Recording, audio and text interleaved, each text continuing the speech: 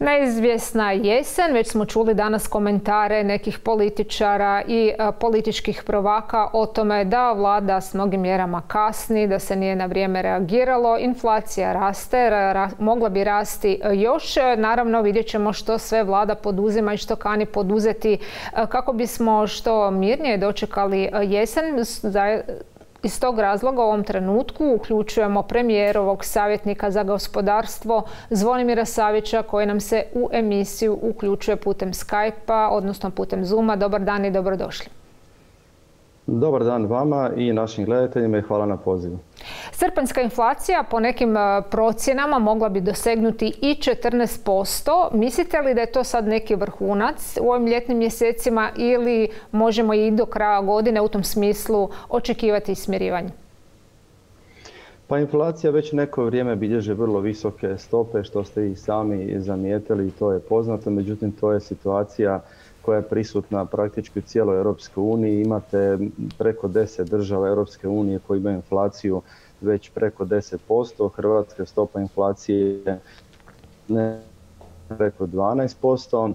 Ono što se zamjećuje, vidi ili prati ili barem očekuje, to jesu naznake usporavanja e, inflacije u dogledno, dogledno vrijeme, a ono što donekle ohrabruje to su i prognoze za 2023. godinu, ne samo naše, nego i prognoze renomiranih svjetskih e, kuća i Europske komisije i, e, i ostalih analitičara da bi ipak stopa inflacije od 2023. trebala biti otprilike u pola manje nego što je u ovoj godini, dakle, dakle kriznoj godini. Dakle, u svakom slučaju e, već jedno vrijeme jesu visoke stope inflacije, bit će prisutno još jedno, još jedno vrijeme, ali ipak u nekom kraćem prema srednjem roku očekujemo smirivanje takvih inflatornih udara. E, dobro, što vlada priprema kako bi e, na neki način e, tu inflaciju olakšala građanima? Znamo sada tu i pravila ekonomije, dakle ova inflacija dobro puni s jedne strane državni proračun, no s druge strane vidimo da neke zemlje već provode određene antiinflacijske mjere. Kažem što u tom smislu građani mogu očekivati od vlade i kada? Točno je, e, mogu naravno očekivati. Što se tiče antiinflacijskih mjera, naravno e, antiinflacijske mjere provode i provodili su e, vlade svih država članica Europske unije, tako i Hrvatska. Već ste vidjeli da vlada reagirala jednim prilično izdašnim paketom usmjerenim na ublažavanje inflacije u travnju ove godine. To je bio vrlo široki paket, 5 milijardi kuna vrijedan i usmjeren na ublažavanje posljedica inflacije, ali i ublažavanja najranjivijih skupina. Naravno da na tome nećemo stati. Pratimo i događanje i kretanje na svjetskim tržištima i što se tiče energenata i što se tiče eh, hrane i pripremamo se naravno na jesen. Ono što se može očekivati da sukladno tome, barem u okviru onoga što vlada može učiniti svojim eh, mjerama i pripremiti jedan, pa možemo ga pod navodnicima nazvati i jesenski paket eh, mjera. E, već neke naznake i konture poznate su javno. U svakom slučaju bit će usmjerene na ublažavanje posljedica rasta, e, rasta energenata, e, već je nešto i najavljeno jer ono što je bitno zamijetiti kad govorimo o visokoj stopi inflacije, ona je u velikoj mjeri generirana rastom cijena energenata ne samo u Hrvatskoj, to je prisutno u Europskoj, Europskoj uniji. Dakle, usmjeravamo, odnosno usmjerit ćemo je na najosjetljivije skupine društva i usmjerit ćemo je na ublažavanje rasta nekih energenata. E, to bi moglo ići u smjeru i smanjivanja stope PDV-a koji se tiču e, i e, ogrijeva, dakle peleta, briketa, sječko, ogrjevno drvo e, i grijanje iz toplana. Za ovo što sam prvo naveo već je snižena stopa PDV-a nedavno, dakle u četvrtom mjesecu sa 25 na 13%, a postoji mogućnost daljnjega, smerivanja. Pitaćete možda zašto baš to.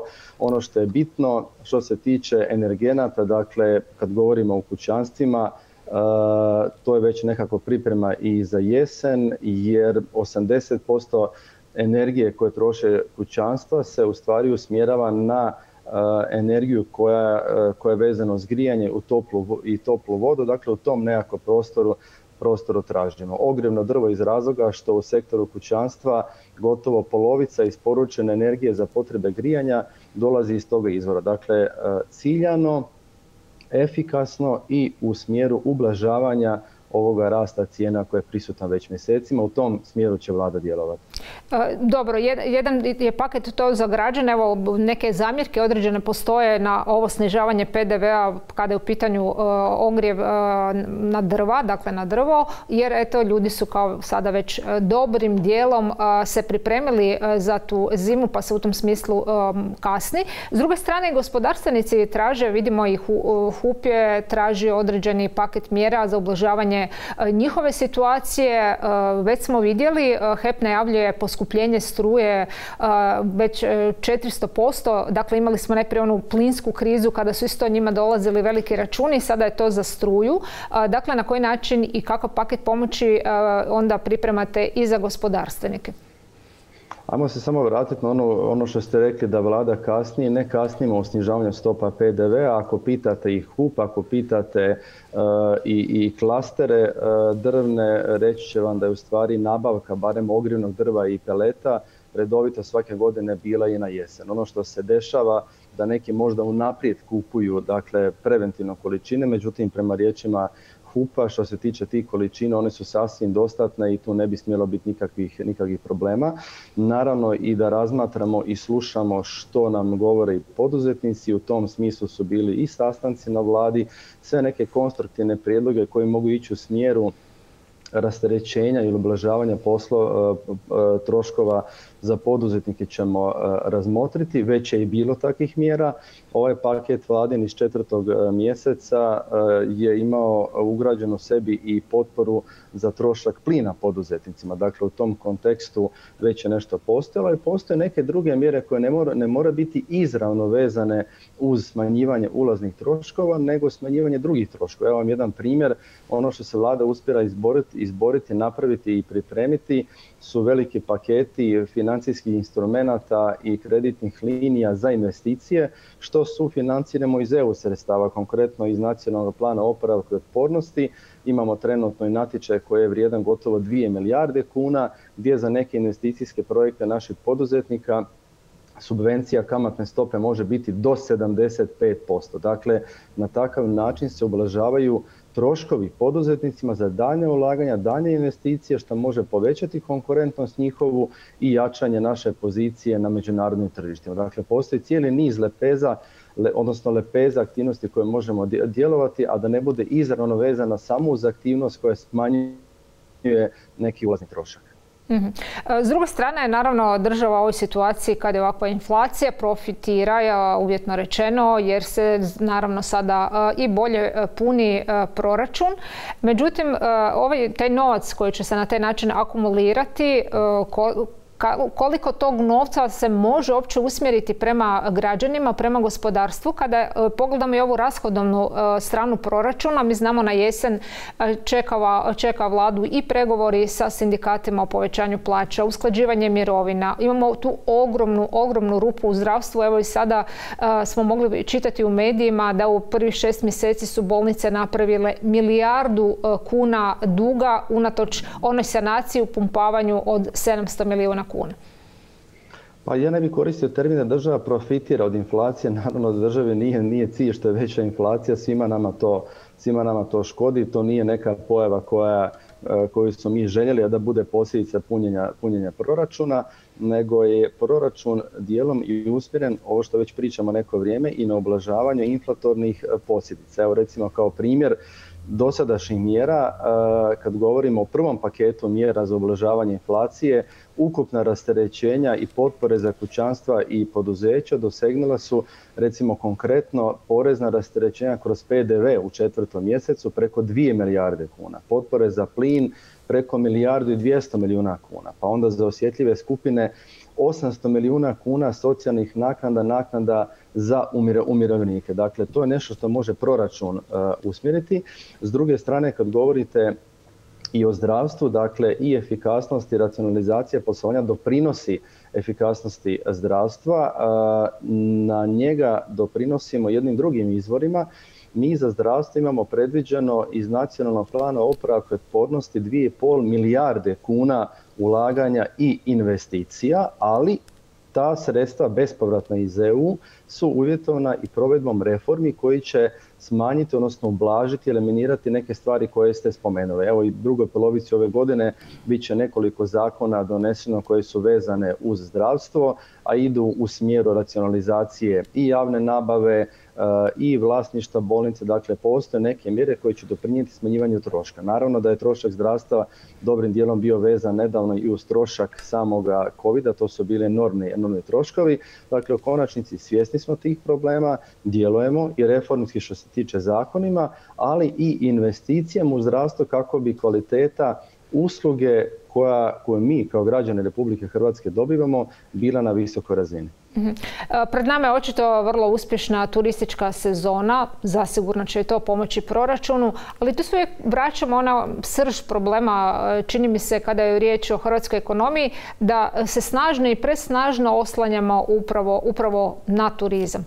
E, hoće li se to mijenjati s druge strane kada govorimo o ovim velikim infrastrukturnim projektima i naravno o nacionalnom planu oporavka i otpornosti? Evo neki dan smo imali zaista jednu uspješnu na priču konačno provedenu kraju. Čekali smo dugo otvorenje e, Pelješkog mosta, puštanje u promet, ali e, što je sa ostalim velikim infrastrukturnim projektima, prije svega i samom željeznicom koja bi recimo baš u ovim kriznim vremenima e, mogla biti od velike važnosti i za gospodarstvo. Hrvatska je to jako zanemarila, ne moramo ni spominjati u kakvom stanju je HŽ. Dobro se detektirali ovaj uvodni dio što se tiče turizma, visoka ovisnost, odnosno visoki udio turizma i turističkih usluga u gospodarstvu Hrvatske i pitanje što se tiče drugih sektora. Dobro se detektirali, situacija iduća. Za razvoj drugih sektora i područja koristimo izuzetno visoka sredstva za razvoj ostalih dijelova gospodarstva. Dakle, nije nama problem turizam kao takav, neka bude veći i razvijeniji, međutim širimo i razvijamo bazu ostalih dijelova gospodarstva. Pogledajte 2021. godinu gdje nam je stopa gospodarskog rasta bila preko 10%, drugi najbrži rast u cijeloj Europskoj uniji. Dakle, razvijamo ostale segmente gospodarstva. Pitali ste sredstva plana oporavka i otpornosti, što se usmjeravaju. U ovome trenutku imamo e, što otvorenih natječaja, što poziva, što financijskih instrumenata, otprilike 13 milijardi kuna, a da se financira iz plana oporavka otpornosti. Usmjerava se između ostalog na ovo što ste rekli. Za razvoj prometa, prometne infrastrukture oko 5 milijardi kuna, od čega je preko milijarda kuna usmjerena na željeznicu. Imamo sredstva koja su usmjerena na energetiku otprilike 5 milijardi kuna. Isto toliko na vodoopskrbu i odvodnju. Imamo malo prije spomenuto zdravstvo 2,5 milijarde kuna, dakle govorimo o sredstvima plana oporavka otpornosti, bespovratna sredstva koja dolaze u Hrvatsku za financiranje naših razvojnih, e, naših razvojnih potreba.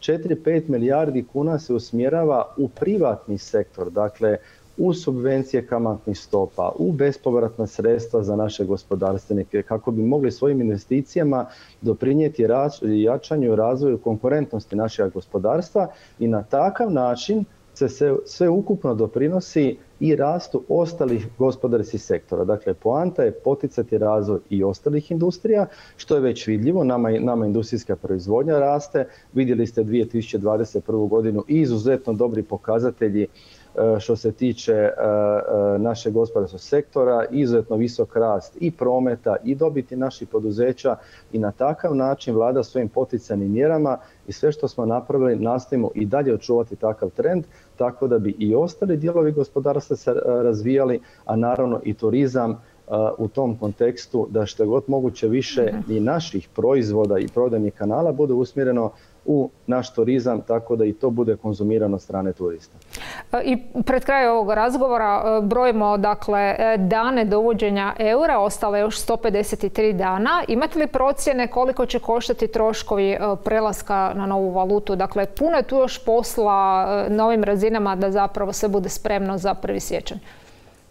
E, dosta je posla, sad troškovi ovise od sektora do sektora. Evo, bankari su se javili sa svojim procjenama, trgovci s nekim svojim, svojim procjenama. Mi u stvari govorimo o prilagodbi samoga, samoga sustava. Ono što je dobro, Hrvatska i Hrvatska vlada uspjela što se tiče pregovora i ispunjavanju svih uvjeta i makroekonomski, dakle i proračunski, kretanje kamatnih stopa, tečaja, provedbom reformi napravili smo sve, dakle sve do jedna reforma je napravljena koja je bila predovjet ulaska, Ušli smo u Europski tečajni mehanizam 2, dakle to je korak prije ulaska u europodručje. Naša brzina ulaska je rekordna, nijedna druga država toliko brzo neće ući u europodručje. Donijeli smo i zakon o euro, ostali se zakone prilagođavaju i ono što je bitno u kontekstu vašega pitanja, dovoljno rano, dakle već mjesecima unazad razgovaramo i sa poduzetnicima, dakle i sa trgovcima i sa bankama da se prilagode, vidimo što to u pravilima prilagodbe treba se napraviti da bi njima bilo najjednostavnije, najjednostavnije moguće, s time da ne zaboravite da puno naših i banaka i velikih trgovačkih lanaca imaju svoje matice u inozemstvu koje su prošle ovaj proces u kojem smo mi sada, tako da u smislu nekog iskustva tu ne vidimo velike probleme. Dakle, 1.1.23. je datum kada počinjemo plaćati u euru, prilagodba sustava se radi, donijeli smo e, i etički kodeks i donijeli smo prije nekoliko mjeseci, a to je bitno, smjernice za gospodarstvenike kako bi prilagodba njihovih sustava, iskazivanje cijena i e, cijeli način prilagodbe i opskrbe kovanicama i opskrbe gotovim novcem bio poznat kako, tako da bi ulazak 1.1.2023. mogao biti e, pripremljen na vrijeme. S te strane mi imamo jako dobru suradnju i sa udrugom poslodavaca i sa Hrvatskom gospodarskom komorom i nismo zamijetili da ima nešto bitno što smo ovoga propustili. Zašto to govorim? Jer naš poduzetnički sektor je u stvari spreman i oni su prvi koji su i zagovarali i poticali i tražili uvođenje eura, tako da tu ne vidimo nikakvih problema. Hrvatska će 1.1.2023. postati 20 država članica europodručja. I evo, posljednje pitanje. Znamo, na godišnjim su odmorima i ministri i vlada, ali to ne znači da se ne radi. Održana je telefonska sjednica vlade i tu imamo odluku o trošarinama koji se tiču električne struje. O čemu je točno riječ, dakle što se tom uredbom mijenja? Pa vidjet ćete e, što se tiče same uredbe i, i ostalih, ovoga, ostalih odluka, vlada sve što čini, čini na korist građana, građana i gospodarstva, tako da ovo ljetno vrijeme nas ne spriječava da donosimo i telefonske odluke, a postoji cijeli niz točaka koji će biti na sjednici vlade za dva tjedna, tako da sve se to trenutno priprema, jer ono što ste rekli uvodno na samome razgovoru, očekuje nas i osjetljiva jesten i rast cijena energenata, tako da već sada neke stvari pripremamo, da ne bi bili u situaciji da kasnimo. Do sada nismo kasnili, pa i od sada sigurno nećemo. Dobro, samo kratko, znači smanjuje se trošarine. Je li to ta Da, vidit ćete. Da, da, vidit ćete, vidit ćete, detaljnije piše ovog odluci, tako da u tom smjeru ide, tako je. Gospodine Saviću, hvala vam lijepo na gostovanju u N1 studiju uživo. Hvala na pozivu, pozdrav.